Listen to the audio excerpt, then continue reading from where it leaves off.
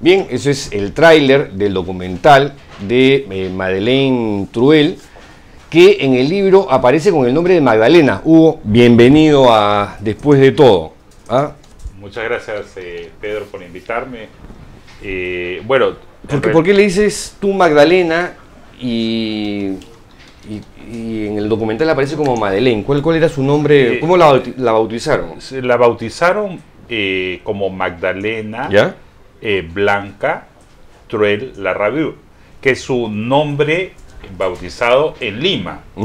Pero en los registros franceses fue afrancesada, afrancesada porque sus padres eran franceses y ahí es donde aparece y ahí es donde puede expresarse a conocido como Madeleine Blanche eh, eh, Truel Larrabue. ¿no? Ah, oye, efectivamente está acá en el libro.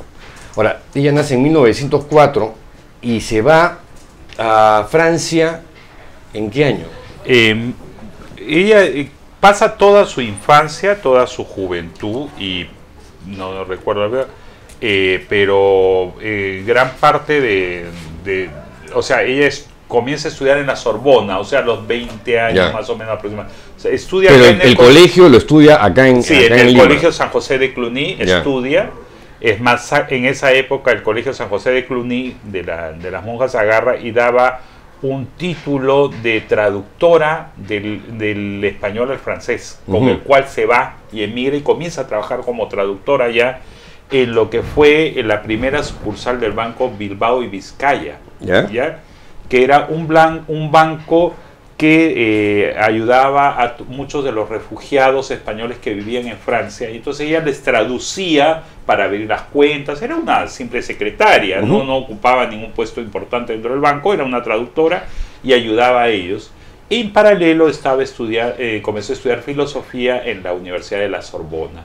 Y ahí es en la Sorbona donde ella se incorpora, o sea, conoce a mucha de esta gente que después se convierte en, en parte de la resistencia francesa. O sea, ella se vincula a la resistencia francesa. ¿Y cuál era su labor en la resistencia? O sea, ella inicialmente, eh, y eso es parte de la, de la historia y, y que hace más dramático, ella sufre un accidente terrible, ¿no? Cuando ya los alemanes invaden Pa- París, la atropellan y ella pierde una pierna. O sea, una pierna, eh, no es que la pierde, bueno, sino que eh, eh, la daña, entonces tiene que, que Queda discapacitada. queda discapacitada y a raíz de que en esa época pues no es como ahora, la medicina demora mucho tiempo para poderse recuperar, pasó casi un año en recuperación.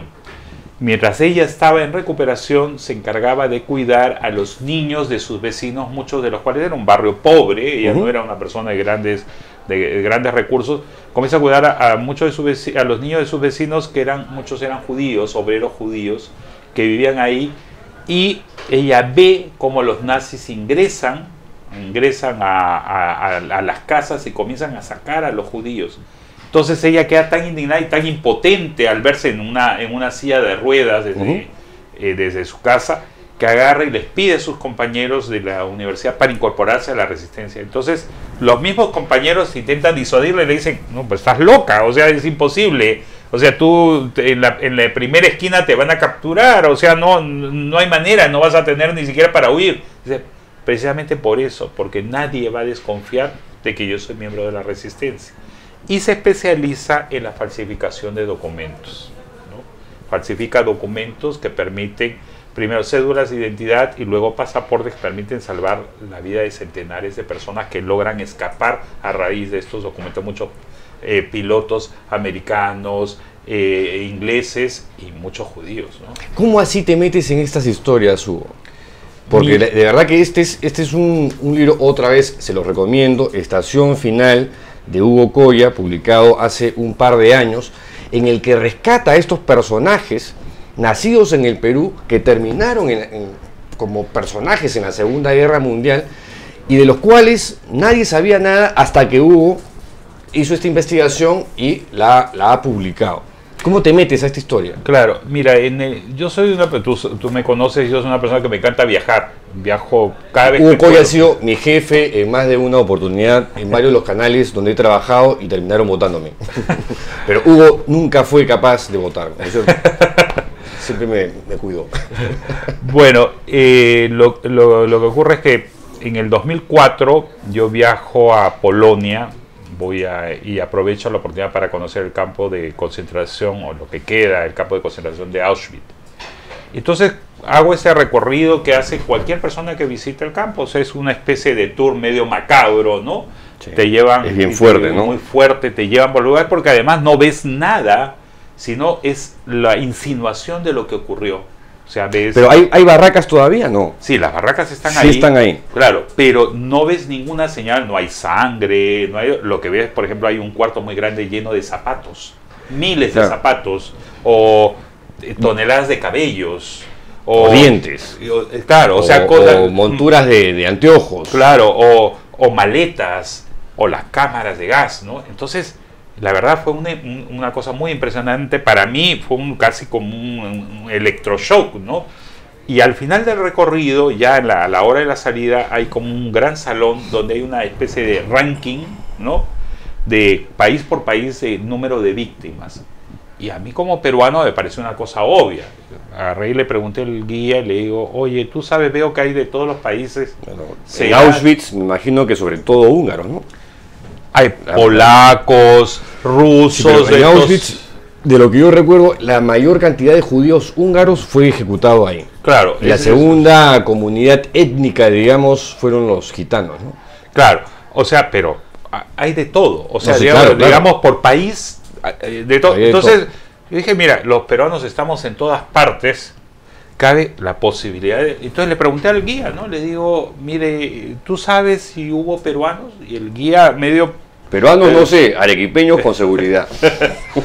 Hubo así un gesto de sorpresa. Primero no sabía qué cosa era peruanos. Después le tuve que explicar dónde quedaba Perú, explicar que Brasil, que Chile. Claro. Y luego, después de todo eso, me dijo: Mira, la verdad es que no sé, nadie me lo había preguntado. Me dijo: Vaya usted a una computadora. Fui a la computadora, revisé y me encontré esta cifra de 22. Entonces, para mí- 22 peruanos. 22 en. Auschwitz. no, 22. o sea, No, no Ya. había la aclaración de que. Pero estabas en Auschwitz, o sea, No, no, es que era información sobre la Segunda Guerra Ah, ya, Mundial, ok, y que habían muerto en los campos de concentración. ¿ya?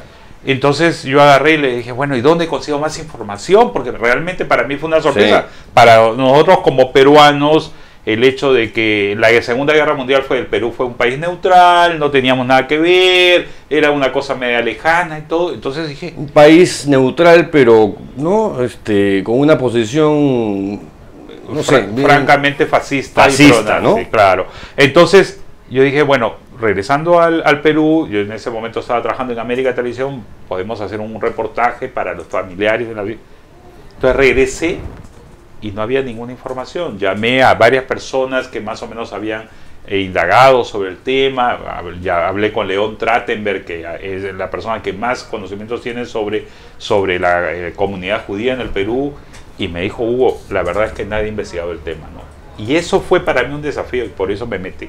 Y en el libro eh, se habla de Victoria Weisberg, ¿no? O Victoria Varu, que es la única persona nacida en el Perú que sobrevivió al Claro, y que está viva. Y que está Sigue viva. Sí, baby, sigue viva. ¿Sigues con- en Eh, contacto claro. con ella, no? Sí, claro. Acabo de estar con ella en Miami. Nos hemos visto. y- Tiene como ochenta y tantos años, ¿no? 87 años acaba de cumplir. bestia. Eh, Y además con una memoria impresionante, porque además tú te sientas a hablar con ella y te comienza a contar cada detalle, el color de la ropa que tenía cuando la capturaron, cómo llevaron Bueno, a que su madre, o sea, es una Debe haber cosa... sido una cosa muy fuerte, ¿no? Quizá la experiencia más fuerte de su existencia. Claro. Ahora, ¿cómo, para, para, para ir al, al tema del documental, ¿cómo así surge esta, esta idea de, de hacer el documental? Claro, en realidad, eh, eh, Lucho Khan, que es mi amigo, eh, lee el libro y se queda muy impresionado. Me dice, Es que es "Hugo, muy bueno, es muy bueno. Se queda muy impresionado por, eso- por esta historia, porque además de todas las víctimas, ella es la única víctima católica. Esta Madeleine Truel. Sí, o Magdalena. Magdalena. o Magdalena Truel, es la única víctima católica, ¿no? Y que además actúa y podría haber hecho, como mucha gente hizo, mirar a un costado, decir, esta no Claro. es mi guerra, yo no Claro. tengo nada que ver, porque me voy a meter? Además tenía nacionalidad peruana y a su vez francesa por el hecho de que su padre era francés. y podía haber agarrado, tomado el primer barco a la hora que estalló la guerra e irse, regresar al Perú y no le pasaba Pero decidió comprarse el pleito, no solamente eso, sino que se metió una resistencia francesa a falsificar documentos. Claro, con el gravísimo riesgo que al final la condujo pues a los varios campos de concentración donde la llevaron, donde la torturaron sin piedad a pesar de ser una persona minusválida y donde finalmente le condiciona su muerte, ¿no? o sea, la conduce a la muerte. ¿no? ¿Cuándo sale este documental? Yo que es en julio, pero no sé. El, 14 de julio. 14 de julio. Y se ya tiene fecha. Sí, y se, va a estrenar eh, por primera vez, va a ser el primer el documental, tiene 27 minutos y, va, va a salir eh, a través de YouTube. Se va a estrenar en YouTube, va a ser el primer ¿Y cómo el documental. Se coloca en YouTube y ahí se. A una hora determinada. A una, a una hora determinada, de manera que cualquiera puede entrar a YouTube y lo va a ver. Y prepara su canchita con anticipación. Claro, y totalmente libre, absolutamente libre para que todo el mundo lo pueda ver.